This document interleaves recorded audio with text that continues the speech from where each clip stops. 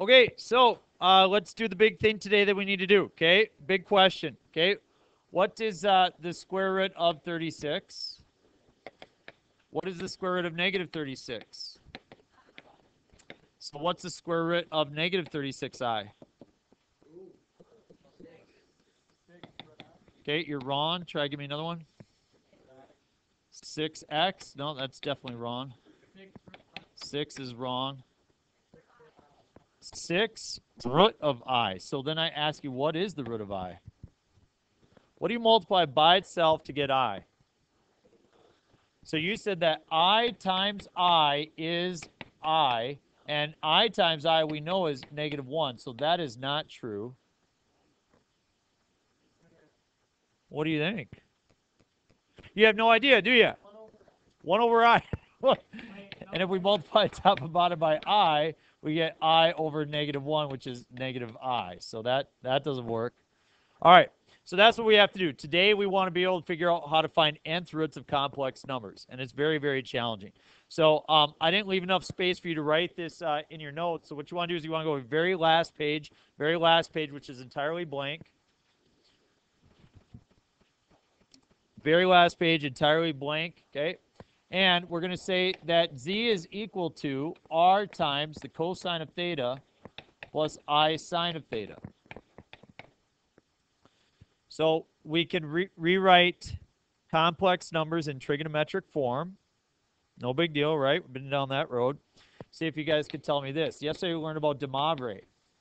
z to the nth is r to the nth times good theta times n plus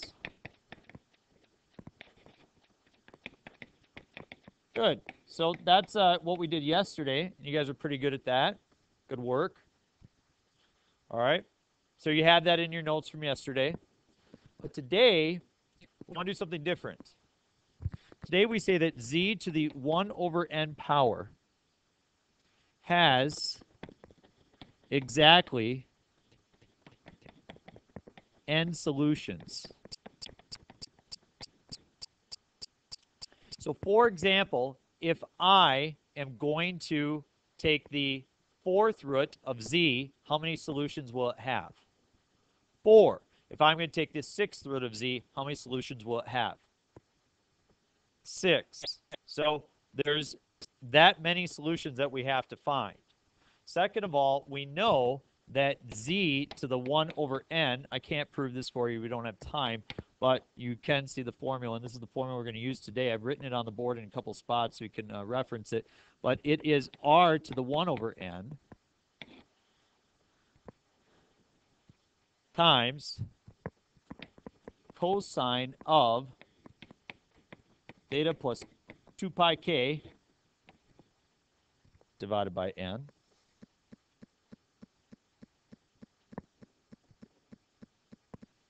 Excellent question. What is k? We'll get to that in a second. Plus i sine theta plus 2 pi k over n.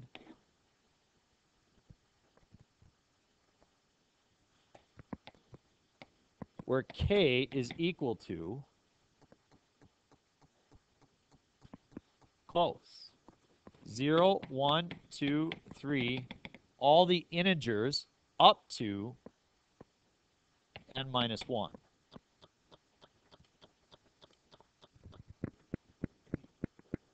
What? So, suppose we are going to find the fourth root. Fourth roots. What is n? 4. How many solutions are there? 4. But k would be all the way up to 3. So k would be 0, 1, 2, and 3. How many integers is that? It's a total of four integers. There you go. Less by one. Okay, so how about if I'm finding the square root of z? What is the n value? Two. Two. So what are my k values? Zero and one. Zero and one.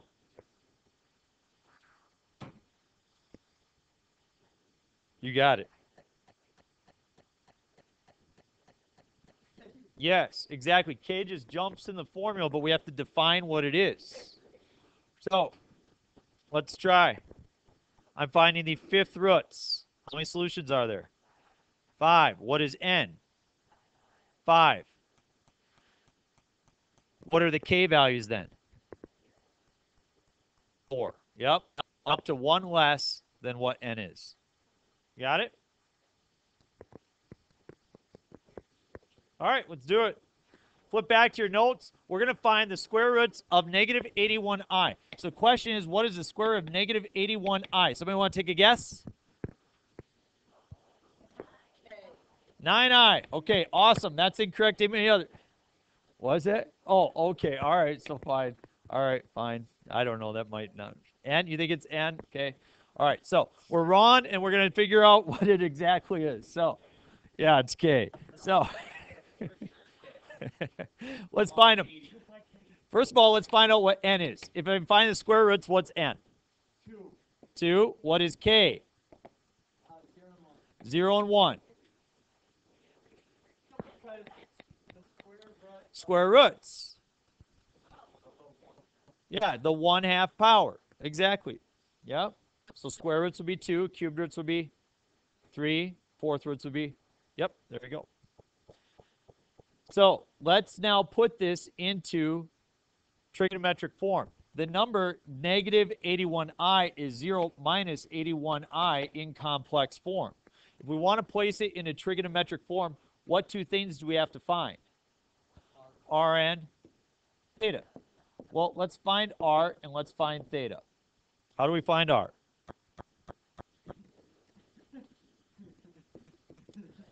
Good. Square root of a squared plus b squared so R is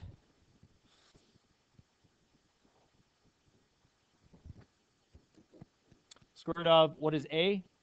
Zero. Zero squared is zero. What is B? So I have 81 squared. So what's the square root of 81 squared? 81. So R is 81. So now I have to solve for theta. What formula do I use to solve for theta? Tangent theta is b over a. What is my b value? Negative 81. So what do you get when you take b and divide it by a? Undefined. Where is tangent undefined? 90 and 270 along the y-axis is where it's undefined. Am I referring to 90 degrees or 270 degrees? Why the 270? Because that's where we would be if we plotted it. Very good. So now I convert it to radians. 3 pi over 2. Look at the amount of mathematics that you guys know. That's impressive. Good work. Yep. So when we list the roots, we'll choose to use a variable w. That's what the book chooses to use. We'll say w sub 0, meaning that we are going to choose the k value of 0 to find our first root. After that, we will do W sub 1. Okay? Here we go. This is where you have to help me out. Okay? We are now going to implement our formula that you see there on the board. Okay? R to the 1 over N, so on and so forth. So, what do I have? Which is 81 to the 1 half power times cosine of 3 pi over 2 y.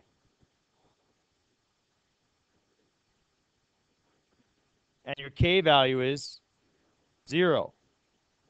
So, right, the first one ends up to be just theta plus 0 because the k value is 0. So we don't have a cycle of 2 pi. Y2. That's what the n value is. Plus I sine of. Now, let's use this space to do some simplifying for the first one because we know that we know whatever this angle is, that's what's going to go here, right? So 3 pi over 2 plus 0. 3 pi over 2. 3 pi over 2 divided by 2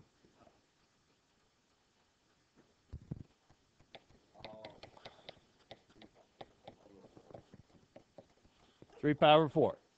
Right? It's okay. Great. Good work. All right, 81 to the 1 half. Niner times the cosine of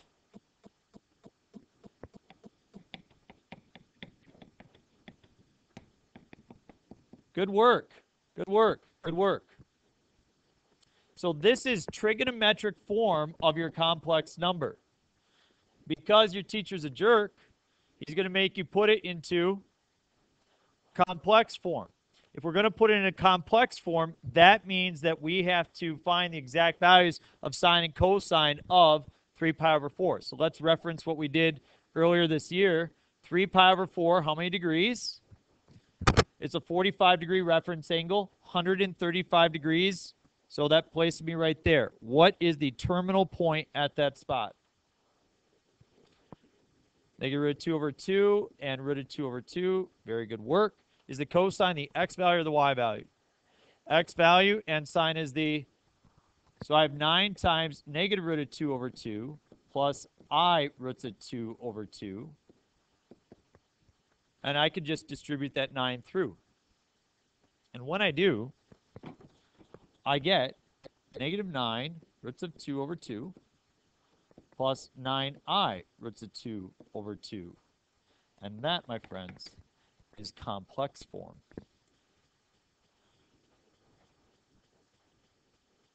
Yes, that would be fine if you'd like to write everything in the numerator over 2. That would be fine as well. But when I asked at the beginning, what is the square root of negative 81i, and we took some, you know, kind of ridiculous guesses I wrote up here, the fact is, at the end of the day, we were nowhere near that, right? In fact, the first time I saw this, I said, eh, I, I don't know if I really trust that. So what I did, what do you think I did to show that I could trust it? No. No, no, no, no, no, no, guys. What? What? Let's just take. What? What does it even mean? What? What did we find? You guys are saying great things. So what does that mean? What can I do to this then? If I were, if I would square it, what should I get? Yeah, so I took this, I multiplied by itself, I FOILed it out, and I came up with negative 81i. I mean, it doesn't look like it should happen, but it does. Now, now, does is anybody else kind of skeptic and like, I don't think it really works? Okay, then on your own time tonight, multiply it out and see what you come out with. Okay, we'll get there. Okay, yeah. So then when we do when we do fourth roots, you multiply it out four times. Question. What? Yep, that well, you uh, you have to have a one there. You know what I mean? I, I know what you're saying. There, there's multiple ways to represent it. At the end of the day, uh, they really like you to write it in the form of a plus bi. So I, the book may write it a different way. Very possible.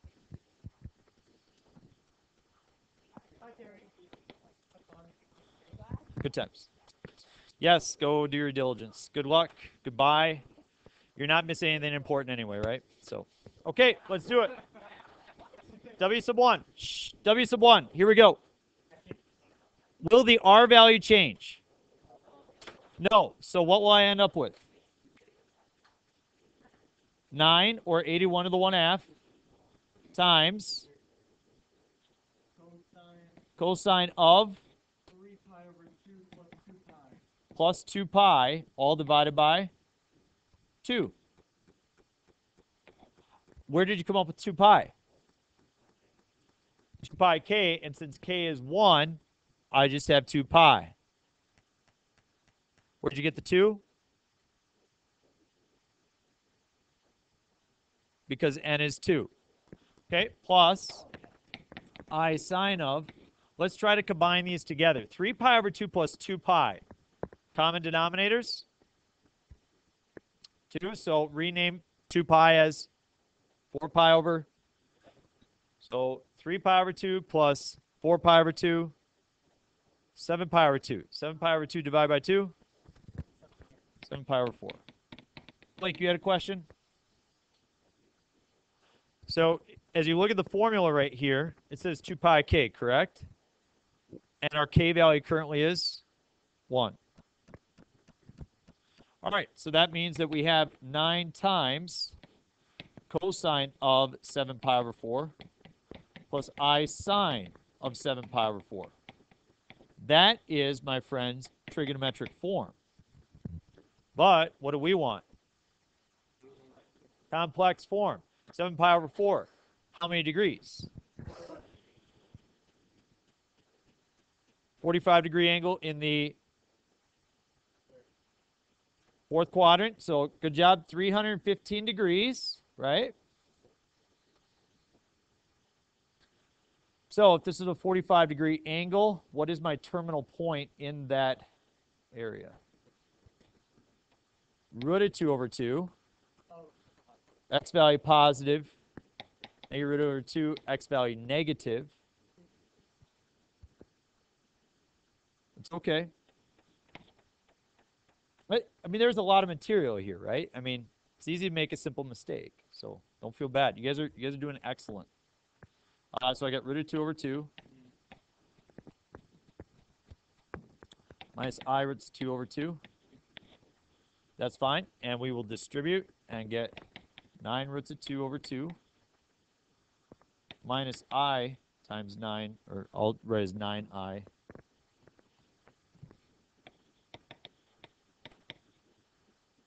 And that's complex form. How is that different from the first one? Negative. And we are doing square roots, right? So if it's different by a factor of negative 1 and you square it, does not matter in that situation. Do not get too tricky about trying to predict because when we do cube roots and fourth roots, some of that really falls apart on you, okay? So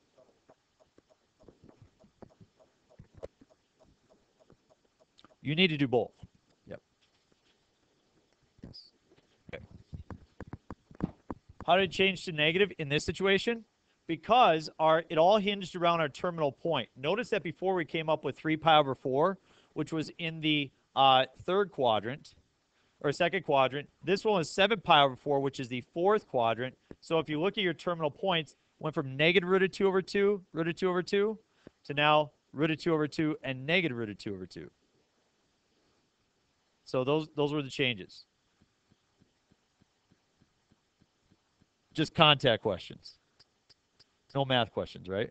Okay, all right. Let's move along. You guys did great. Let's do the next one. Okay, so now what we're going to do is we're going to find third roots of negative 27i.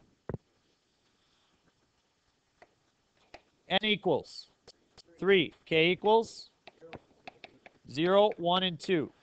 And I argue that if you could do this uh, type of lesson, I don't think, uh, this, to me, this is the hardest thing that we learned this year in trigonometry. And furthermore, I think you can make it through all the pieces of calculus next year. That's my opinion. Okay? Unless you're wearing a Green Bay Packers shirt. We just, there's some poor choices. You, can anybody get the guy a different shirt? Okay. All right, R equals. Can anybody see what R is right now by just, it's 27, yeah. Okay, and then if we were to plot this point, where would it be? It would be down on the y-axis at 3 pi over 2. So notice how quickly we were able to generate our R value and our theta value by simply thinking of how we would plot the point. So now we're already into trigonometric form, which is 27 cosine of 3 pi over 2 plus I sine of 3 pi over 2. Good work. Yo. No, it, not, a dumb, not a dumb question. Negative 27i, so that's 0 minus 27i. And if you were to plot that, you would go over 0 and down 27 units. So therefore, we can see it's 27 units away from the origin, and you can see that you're located at exactly 3 pi over 2. Right? So we kind of showed a couple of those type of examples. You're not going to be able to do that every time, especially the next problem that we do. But right now you can see that we have three pieces to get through. And that's part of this. On the test, you want to be efficient in your work and not waste a lot of time. So let's get to it. W sub 0 equals 27 to 1 third, good, times cosine of what? 3 pi over 2 plus 0. Why plus 0? Because k is 0. Divided by? I thought it was 2. Don't we divide by 2? Yes. That's the common mistake that gets made is a lot of times people just continue to divide by 2. You have to divide by whatever n is. Since this is the third roots, we divide by 3.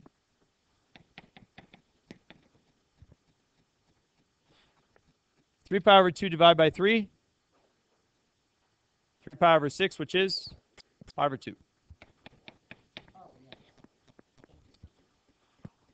All right, 27 to the one third. Three. Cosine of 5 over two. I sine 5 over two. That is trigonometric form. Yeah, we do. Here comes B Rody. All right, what's cosine pi over 2? 0. What's the sine of pi over 2? 1. What's 3 times 0 plus i? 3i, which is your complex form. Think about it, folks. If you take 3i and multiply it by itself three times, does it make sense that you're going to come up with negative 27i? That's when we probably could figure it out on our own. But the next two, I don't think we really would have had a chance. So, where do I start? W sub 1. We'll just jump right to the 3.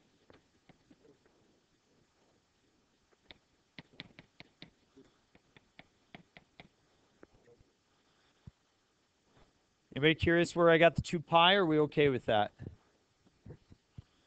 So again, our formula says theta, which is the 3 pi over 2, plus 2 pi k. 2 times pi times k. And since k is 1, we have 2 pi times 1.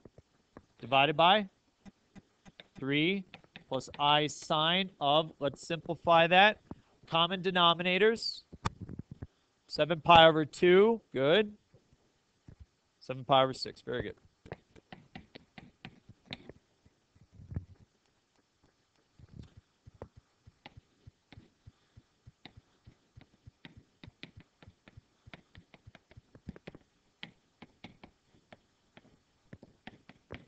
Trigonometric form. How are we doing, kiddos? Go ACT. All right. That's trigonometric form. Let's now convert to complex form.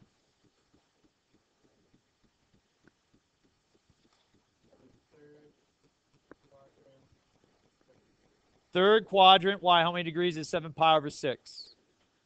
30 degree reference angle, 210. So I'm in the third quadrant, 30 degree angle. What will be the coordinate there for my terminal point? Negative 3 over 2 and negative 1 half. Good. So those are my values. Uh, 3 over 2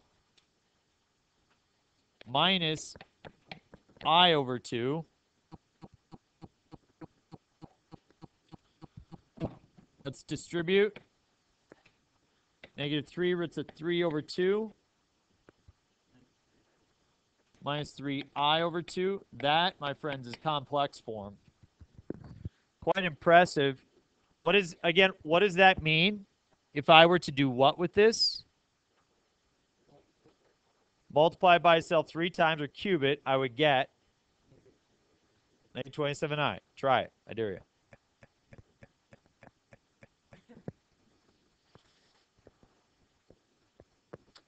Okay, so we are going to help our two who have just been gone to try to get caught up here. Three, Jill. She knows it. She's good. All right, let's see what we got. B roadie. B roadie. Here we go. Okay. All right. Let's do it, dog. Okay. We are finding the third roots. That means negative 27i to the 1 over 3 power. Whatever that is, that's what n is. Rach? Furthermore, I choose three values. I choose the three integers that go before 3, starting with 0. So I start with w sub 0, w sub 1, And folks, what are we going to do now? W sub 2. I use this formula that you see here on the board. So we do it three times. We're on our third one right now. So what was our R value? 27. And we raise it to the 1 over 3 power. That's how we came up with this 3. Times. Now is where it gets a little crazier. Cosine of the angle was 3 pi over 2 that we calculated plus Jill from our conversation did you did you pick up on what we said k is right now? K is going to be this number right here. So here's what I have. I have my theta value plus 2 pi k. What's that going to come out to be? 2 pi k. 4 pi. Divided by, now it says Rach, what am I dividing by here? N, what was N in this problem we said? 3, so I divide by 3. Very good. So let's combine them together. Okay, 4 pi as 4 pi as a denominator of 2 is 8 pi over 2 combined 11 pi over 3 or over 2. So we got 11 pi over 6 rolling here. Good. Good job.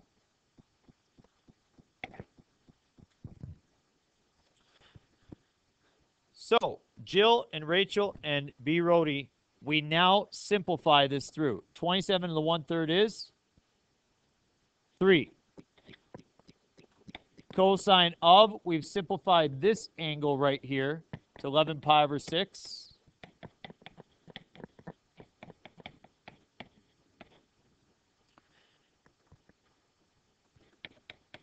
That is what we call trigonometric form.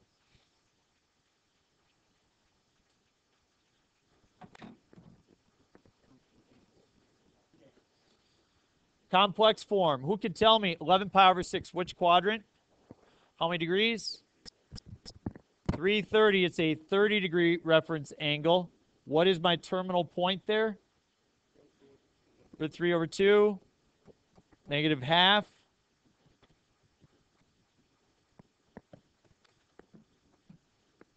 So minus i over 2.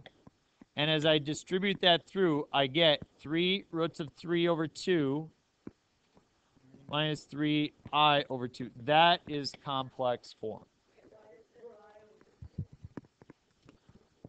Good question. I have i times the sine of 11 pi over 6. You got you good? Okay, fourth roots. We're not going to do all four. We're not going to do all four. We're going to do the first first one, and we'll just set up the second one so you guys can see what happens because this one's a little bit unique in that uh, there's just a couple more challenges with it. So.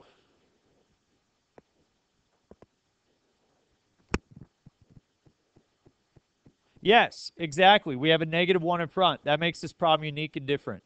So our first step is to place this into trigonometric form. But before I do that, I'll identify n and I'll identify my k values. What is n? What is k? And we won't use all 0, 1, 2, and 3. We'll just set up 0 and 1. But what I need to do is I need to find r and I need to find theta. How do we find r? What is a squared? 1. What is b squared? What? You guys make excellent points, but we do not square the i. We simply square the coefficient in front of i. So root of 3 over 3 squared is 1 third, because you get 3 ninths. Very good. So, still, n, it comes right here. So because we have four roots, we're choosing 4. What's 1 plus 1 third? 4 thirds. So we're going to say r is equal to the root of 4 thirds, and I'm going to choose to write it for for the benefit of uh, some of the operations. I'm going to write as four thirds to the one half power, and I know that that looks kind of gross from what we've kind of done before, but this is going to be useful to us. Yes. It you you don't use the i because as we plot this point, remember that r value is its distance from the center, correct? So we go back one and we go up uh, root of 3 over 3, which is actually less than 1. So it's, it's right about here. So we don't actually use i when we plot it. That just means we are on the imaginary axis. So you don't use the i when you square the value. Okay? Better? All right, so we've got that. Now let's set up tangent of theta. Tangent of theta is equal to what? b over a. What's b over a? Negative root of 3 over 3. Uh-oh. Where is tangent negative? Second and fourth. Are we working in second quadrant or fourth quadrant? Second, due to our plotting. Inverse tangent, the root of 3 over 3. Now, if you don't know this value, some of you have memorized it, some of you haven't. But if we go tan, well, I'm in radians, so mode, go degrees.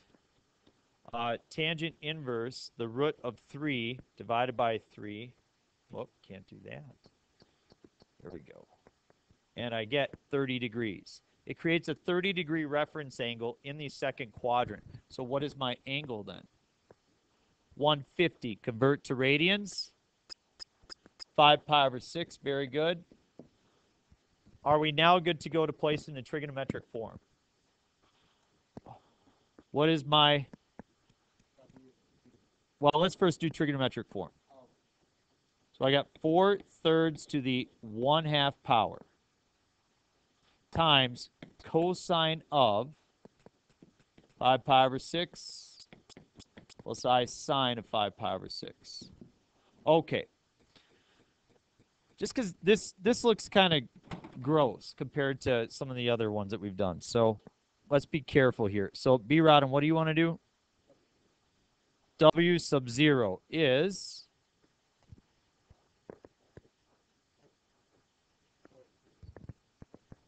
4 thirds to the half to the fourth or one fourth. So 4 thirds to the half to the one fourth. One eighth. You multiply the exponents. Very good. So 4 thirds to the one eighth power. We'll do it. Hey, here we go. 4 thirds to the one half to the one fourth power because 4 thirds to the 1 half is your R value. Now we have to raise it to the 1 over n. See it? So that brings us to 1 over 8 times the cosine of what now? 5 pi over 6 plus 0 y 0. K is 0 divided by 4. Y 4? It's my n value. Plus I sine of, oh boy, um, 5 pi over 24.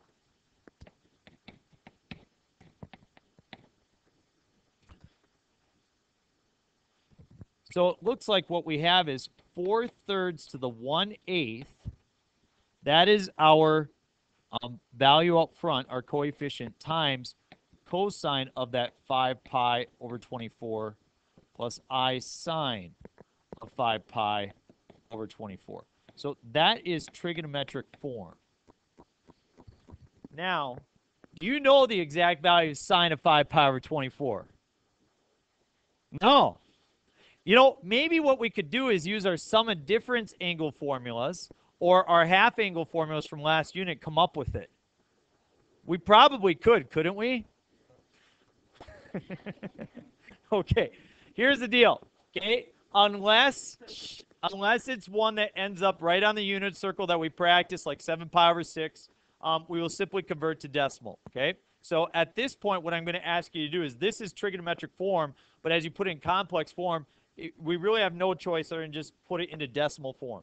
So let's uh, change this here real quick. We've got um, 4 thirds, so I'm going to go parentheses 4 divided by 3 raised to the, and make sure you put parentheses around this, otherwise it'll just take it to the first power and then divide it by 8, which is not what you want to have happen. And if I do that, I get 1.037. And then, do you remember what mode my calculator was in? It was in degrees. I'm definitely to have to jump back to radians now. Um, the cosine of 5 pi divided by 24, and I get 0.7934 plus i times sine of 5